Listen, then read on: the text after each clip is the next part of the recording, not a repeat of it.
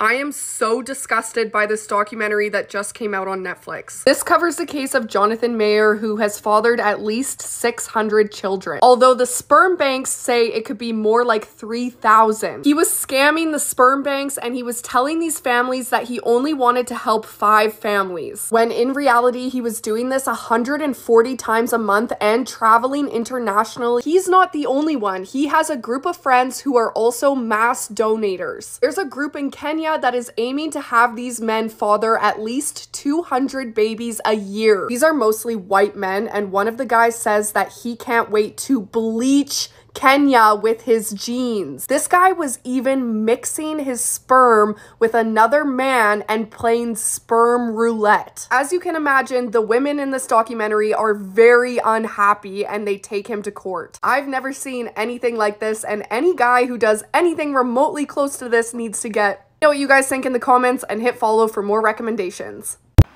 Hi guys, welcome back to our channel. In case you're new here, my name is Maren and I'm Maureen. So in today's video, we're going to be talking about a silent trend that is slowly creeping up and taking over Africa, not only Africa, but around black dominated places in, in the world. And this is because palm colored people have taken an initiative. I don't know if it has, it has just begun or it has always been the agenda to whiteify a majority of uh, the black population beginning with Africa. Africa. I'm wondering how this is not of concern because I feel like this is a problem that is brewing under the you surface, know, under the surface. Yeah, and of, of course, guys, I feel like since this is the an, an agenda clearly that is being driven by the palm-colored people, I feel like uh, right now uh, procreation is being weaponized mm. in such a way that them that not just procreating to procreate they're procreating with a hidden hidden agenda unlike black people mm -hmm. they're procreating specifically with black people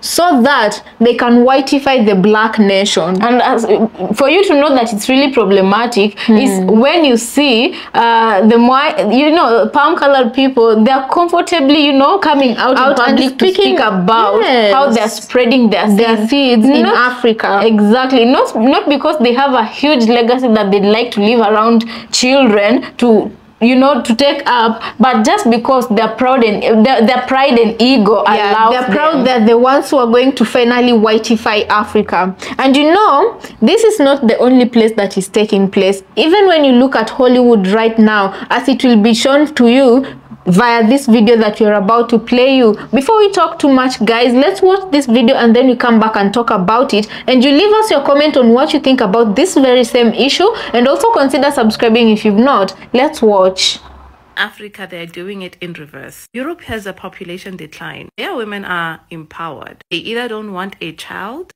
or they don't want to sleep with a man in order to procreate a child. That's why these sperm banks are on the rise. They want to apply the system of Europe here because they also understand the psychological thinking of the women here and their state of finances. That is why Cloth Cloth tourism is very high in Cape Town. You can do your inbreeding there to women who are trafficked or you can also go to websites or dating sites for women who are desperate for a white tea man or lobster, whatever. The one that leans to the websites come in in a form of love and affection so that they can inbreed you be left with a breeder child with a man that does not care about you. That's exactly what happened to Congolese women with the Jakapan man. They were psychologically manipulated with love and affection. They were not raped, and it needs to be emphasized, since they got pregnant for them. So such a mistake would not happen to me because I don't want a baby with a white man. Never. Let's talk about the rise of the biracial black girl in Hollywood and what it means for the future of black female representation on screen. I want to start with the visual of Zendaya because I think there's no better person to really represent the success of mixed race women or even mixed race people in general on screen than Zendaya. That being said, the purpose of this video is not to bash Zendaya or anybody else that's going to be brought up in this video. Rather, I think Zendaya and the folks I'm going to be mentioning are examples of a much larger pattern that we're seeing in Hollywood that's indicative of a systemic issue related to colorism and anti-blackness within the media. Ultimately, this issue does not fall on the shoulders of one or two people, but rather will require extensive industry reform. So just keep that in mind. Now let's get into the video. If you haven't noticed, every coming of age show on Netflix, Hulu, Prime, etc. typically has a light-skinned biracial black girl um, as a lead or as a supporting character. Exhibit A, Outer Banks. Exhibit B, Never Have I Ever. Exhibit C, 13 Reasons Why, and Exhibit D, Ginny and Georgia. Now you might be wondering, okay, like who cares? Why are we talking about this?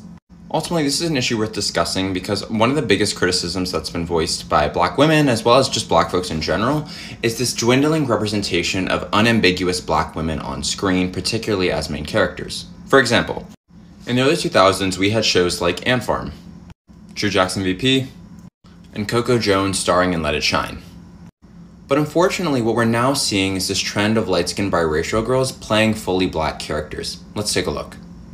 We have Amandla Stenberg in The Hate You Give, who is the daughter of these two folks over here Zendaya and K.C. Undercover, Yara Shahidi in Blackish, and also I think it's important to mention that like a lot of the folks in the Blackish cast actually are mixed race, and that's a whole nother discussion because Kenya Barris has come under fire for his representation of the black family. I don't know if anybody remembers Kenya's show Black AF, but this was heavily criticized for its light skin casting and the way at which it's felt like he was trying to present a very diluted form of the black family by only having light skinned racially ambiguous black children. Looking at how biracial black girls are becoming the sole form of representation for black femininity on screen is one piece of the puzzle, but it's also important to look at what happens when we have a biracial black girl and a black girl in the same show. And I think the best example of this is High School Musical, the musical, the series, starring Sofia Wylie and Dara Renee. From episode one, Courtney, played by Dara Renee, is very much positioned as Nini, played by Olivia Rodrigo's black best friend, her sidekick, and she's sassy, she's kind of aggressive, and it honestly reeks of the angry black woman stereotype. Yet Sofia Wylie's character, Gina, is very much positioned as a lead and a character with substance and depth. It's also worth mentioning that Gina's love interest got significantly more screen time and attention compared to Courtney's. Like, why did we never see this guy? Or this guy? Like, you really never saw Courtney and Jet or Courtney and Howie together all that much. Yet the bulk of season 4 revolved around Gina and Ricky's love story. And on that note, one trend I'm noticing is the white boy and the biracial black girl being put together as love interests. This happens in Outer Banks, Spider Man, and Ginny and Georgia. Now, I think this is really interesting because I think it represents a sharp contrast from what I was exposed to in terms of interracial relationships on screen. The very first memory I have of seeing um, interracial couples was really Rags with Keke Palmer and Max Schneider. And while we still have fully black girls being with white guys on screen, it's really interesting how I'm seeing less and less of this, and like I said, more of the white boy and the biracial black girl. This ultimately raises the larger question of does blackness have to be diluted to be marketable? I don't know if you remember, but during the pandemic, Coco Jones released a video about what happened to her career and why she kind of fell off after Let It Shine. And in this video, she talks about how she was constantly told she was not marketable enough. Now, if you're watching that video in live time, you would see that a lot of people were commenting slash comparing her to Zendaya, and how, you know, despite the fact that Zendaya was never mentioned by name, that's what a lot of people jumped to. In no way am I trying to promote division between Coco Jones and Zendaya, but what's interesting is that they both were on the come up on Disney Channel around the same time, the early 2010s, and whereas Zendaya got Shake It Up and all of these major opportunities, Coco Jones really wasn't left with much. Now, I'm so proud of Coco Jones because she's now a Grammy winner. She's on Bel Air. She's worked with Renee Rapp and Justin Timberlake, and Disney was a fool to really fumble that opportunity. It is really heartbreaking to see how a dark skinned girl like Coco Jones was constantly passed over. And it really enforces this larger point that I'm trying to make, where it seems like the marketability of blackness is contingent upon having a black female in close proximity to whiteness through a romantic relationship or a friendship, or by simply casting a black girl that is half white. If you haven't noticed, there is definitely a biracial look in Hollywood. From what we've been discussing, it should be clear that the ideal biracial has white features, sand color slash graham cracker colored skin, and 3B or 3C hair. This is important because despite the fact that Zendaya and Laura Harrier were both in Spider-Man and both of them are biracial, it seems like Zendaya is often the one that's most coded as biracial, whereas Laura Harrier is more positioned to be seen as a fully black woman. And we can infer that that is most likely because she's slightly darker than Zendaya and has different features. But what's problematic about Zendaya serving as one of the few examples of black femininity on screen is that it really oversimplifies what it means to be a mixed race person, and in this case, a mixed race woman. Mixed race black people come in all different shades, have different features, and there's no one way to be biracial, and there should be no ideal biracial look. So when you constantly put out biracial girls that all look the same and have similar features, it upholds this idea that there's only one way to be biracial. And it's also harmful to fully black girls because they're really not seeing themselves in actresses like um, Zendaya. And while you could argue that Zendaya does look like some fully black girls who just came out light skinned but have two black parents, at the end of the day, the majority of black girls with two black parents do tend to look darker than Zendaya. And so to have her be, you know, their representation is very much misleading and ultimately harmful. While Zendaya has acknowledged that she is Hollywood's version of an acceptable black girl, mere acknowledgement isn't enough. Ultimately, what we need to see is reform from the very top, particularly within casting. Right, a casting director is the gatekeeper when it comes to a project. They decide who's getting the job and who's not. Therefore, if casting departments aren't diverse and they don't have a wide range of people with different skin tones and experiences and perspectives, then it's very unlikely that we're going to see any change. I want to end this video by saying that I am really proud of Zendaya, and as a mixed race person, it is really cool to see more mixed race representation on screen. That being said, we do have to ask the question, is biracial black progress necessarily progress for all black people? I've heard the argument that biracial progress is coming at the expense of blackness, and that's really heartbreaking to me because what benefits us does not necessarily benefit all black people. And so it's really important that as a mixed community, as biracials, that we really speak up about this and say something. Not in a light skin savior way, but at the very least, we need to say like, hey, this is unacceptable and we're not gonna stand for it.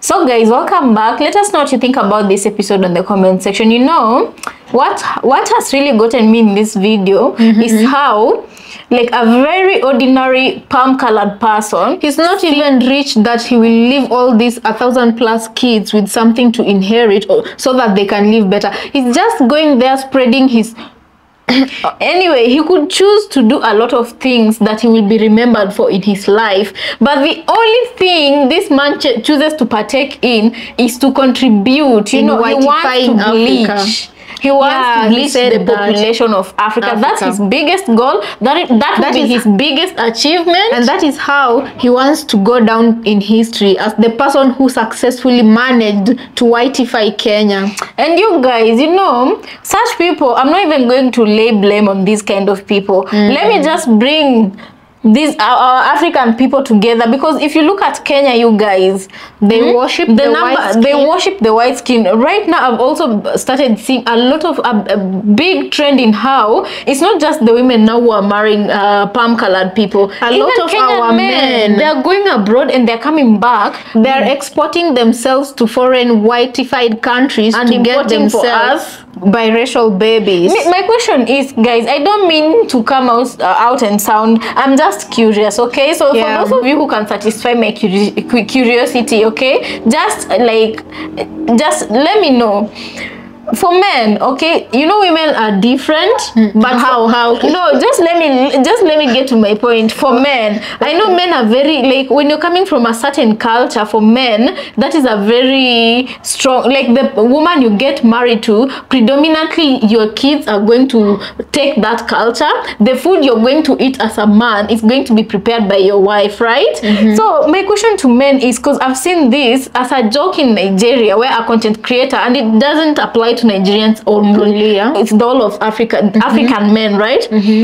You go and marry as a Nigerian, you and the Nigerians love their food, Maureen. Mm. Even the rest of Africa love Nigerian food, and there are spices. Mm. So as a man, you go and marry a palm-colored woman, right? Mm-hmm. So let's picture these two situations: the man married to a palm-colored woman, and the man married to his Nigerian wife or any other African lady. Okay, mm. you know, women how are you going to this might be a stereotype so please co correct me if i'm wrong. Mm. nigerian men how are you the, the process of which where you try and get used to eating burgers because it's a palm colored woman's uh, you know they can't cook for you egusi soup right? They can't cook for you jollof rice right? So for you to start adjusting now and you start eating but that's what not even the big no i'm just asking how do you do it? Food is not even the big issue. You know, sometime in future, five, ten years from now, we African natives, uh, you know, I'm just picturing a situation where if uh, white people with their weaponized procreation, if they manage to do what they're set out to do, mm. five, ten years from now, black people who look like me have reduced significantly reduced in number because both us as females and males we are marrying outside and we are marrying not other black people but white people you know um, Another how- issue- uh, a lot of biracial people will be here and minority will start being mis- mistreated and being told go back to your where you're wherever you're coming from this is not your country And then you know another issue that was brought forth was the issue in Hollywood right now, the representation Right. of a black person. Guys, let me tell you something, so that you can have the picture of us uh, growing, Growing up, up. what we used to see. So growing up, we used to see uh, movies that if they say a black person in a movie, it was a black we'd person in see a movie, people right? yeah. And then we, as we grew up a little older we started seeing people like that's so raven. I don't know how many of you guys remember that show. And then we'd see other people like uh, skin type like zendaya. Okay sh- in short we'd see biracial people with very nice hair but they were few. They were They very were- few. In the movies we used to watch um, growing up you'd see bla- the picture we saw was of a black person. Let's say a black woman but a black woman wearing wigs, and then you know we never saw natural wigs. hair. We never saw natural hair. So Marian and I would often ask ourselves if they're black like us how come their They hair have is better not hair, just- like ours? just just children like mentality. conversation and mentality. And then we'd ask ourselves uh, okay as we go, uh, africans we have 4C and all that kind of hair right but what the black people we are seeing in our televisions as we They didn't have know the concept hair. of weaves and wigs yeah and they you have guys, different hair right you guys legit uh, our generation growing up we used to think black americans and africans we have totally different features. and we don't mean in types of texture we mean like totally totally different because even the black americans we'd see they they had eurocentric features like the long pointy mm-hmm. nose we didn't know there. Was yeah, we didn't us growing up as kids we didn't know that that was because of surgery you could buy yourself a or better because nose. of type casting, Casting, you know you, you take could a certain people with certain features, features yeah or if they don't have those certain features you you, go take for surgery. those who've bought themselves eurocentric features you know Right. so it was not until we saw our first black person i don't know what gave you- Diaries of a Black Woman, and then we started seeing there Oh, are there are different people who have type of afros there right? different types of black america There are those ones who braid, Mm. and, we're you like, guys wow, legit even if we are like we look the same you know yeah and legit if even if right now Taylor Perry has a lot of scandals and whatnot he shaped yeah in the- Africa yeah, he he shaped the the idea gap. of uh, black people and he kind of represented the silent generation that wasn't being Right. seen especially black people who are like skin deep black Mm, yeah, and that is one thing. Like Taylor Perry, kind of for us, he was the introduction of for us of, a true America, Black American, American woman and he made us understand that if the black America comes in different shades not only the Den- Zendaya shade you know yeah. so, you guys, uh, in uh, Hollywood right now, it's being normalized. Yeah, and for black people to be represented in such, such form. yeah and you know guys what happens is me as a black uh, african seeing these types of movies. And also a child in america right now seeing these types of movies where black people are solely represented by zendaya not mm-hmm. an, any other dark person but zendaya. Me as a black child i will grow up wanting my child to be that light so mm-hmm. that they can also be considered as the right kind of black shade. And you get get for them to get opportunities, opportunities right? and what happens is this kind of very dark dark and black people go out looking for muzungus white people. They go out looking for people who will give them biracial kids and now you see since childhood this black um, individual has been indoctrinated to think that this is not the shade black. of black that should exist in the world. That Yeah. I think that is why I, we're right now we are seeing a lot of people having biracial kids, because they're in trying to wash. Yeah, they're trying to wash that. They that, that is the agenda they're selling here in Africa. Yeah, and you know, on the other hand, also, you guys, I don't feel I can blame Africans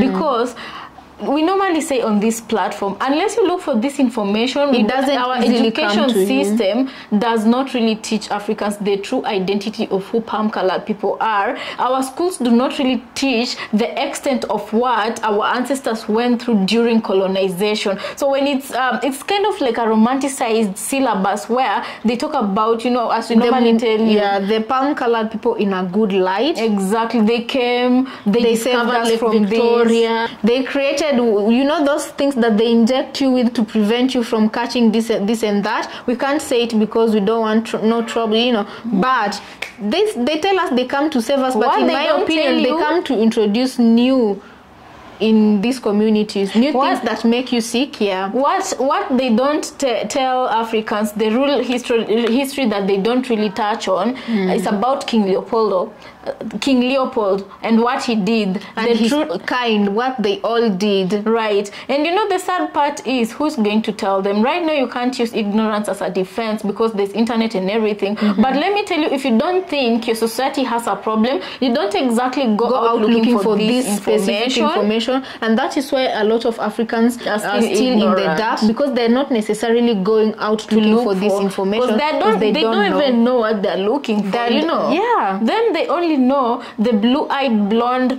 uh, man or woman they saw in a movie they know superman. You know superman comes in and swoops lois lane. They don't ask themselves why is why is lois, lois lane not looking like them? You know but they the whole romanticized uh, idea of being palm colored that is what africans see. When they look at when they watch tv they see kardashians and that is all they see. The luxury you know the luxury that is uh, uh, uh, comes with them the opportunities and you're like Yeah. that is what you want for your child and in short guys what i came to realize watching this episode is that black people all over the world stop saying it and start doing it. We need to tell our own stories. Hmm. Us personally we feel like this is our own way of telling african stories and black american stories and black people everywhere. Hmm. At the end of the day i think there shouldn't only be one taylor perry who's telling uh, black stories. I feel like black people should develop their own film industries so that when black kids are growing up they should know that they're represented their hmm. true blackness is represented and they're not seeing themselves through the eyes of a biracial although there's nothing wrong with biracials also because i'm happy they have a representation of their own too. Mm, but as someone said it's like the representation of uh, biracial uh, people is taking opportunities away from the true black communities. Anyway we leave it there because those are some kind of controversial words we've said. Another uh, group of uh, creators who really came to light are the Wayans brothers although them we discovered them a little bit late. Later, Tyler yeah. Let's say was the main person for us or in of how- Africa yeah of how we discovered there were different shades of black people Right. and different shades of hair too Yeah, anyway, guys, let us know what you think about this episode in the comment section. As usual, we appreciate you very much for joining us on this episode. Let's catch you on the next. If you're new here, kindly remember to subscribe, share this vid- video with someone you think might benefit from it, and also leave us a like. We'll really appreciate it. Thank you so much for joining us.